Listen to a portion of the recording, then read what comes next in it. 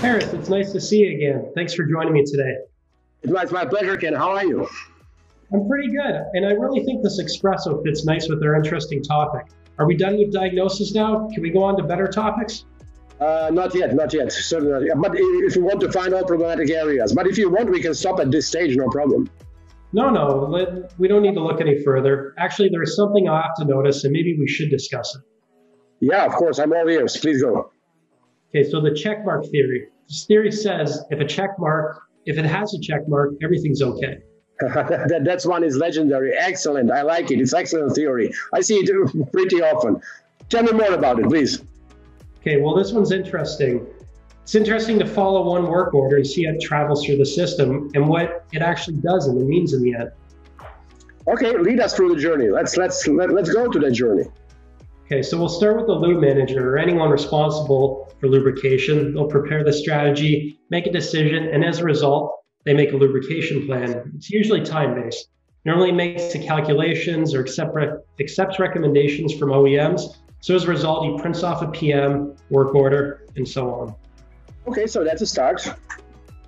Okay, but it's not the beginning of the journey, but it's the start of a task. So in the morning, he prints off the work order, gives it to his lube technician, who goes out in the field to do the job. Then in the afternoon, the end of the shift, he'll come back with some paper, but with all the boxes checked. That's where the checkmark theory starts. And the paper goes back to the lube manager. He looks at it, sees all the boxes are checked, It's a paper in the archive, and that's it. I'm done. Says who? Says checkmark. and that is a problem. That's the interesting part. What does a checkmark prove? That the lube tech actually visited the bearing? Maybe, but not necessarily.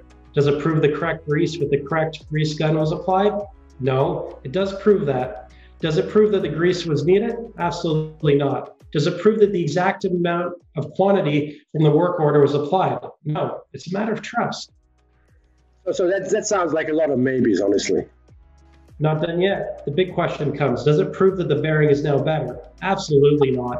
And and that is the most important question. But let's ask ourselves what does it prove?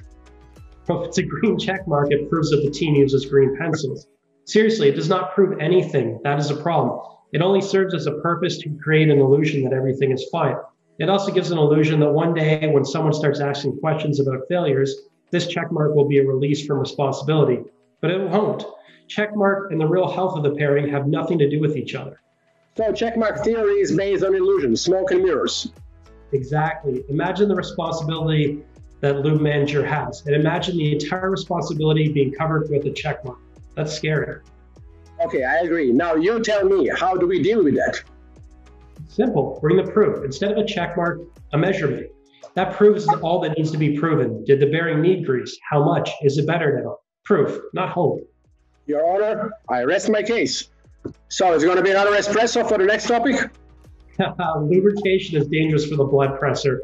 I vote for a macchiato. Okay, macchiato it is on Monday. See you on Monday, my friend. All right, until next time.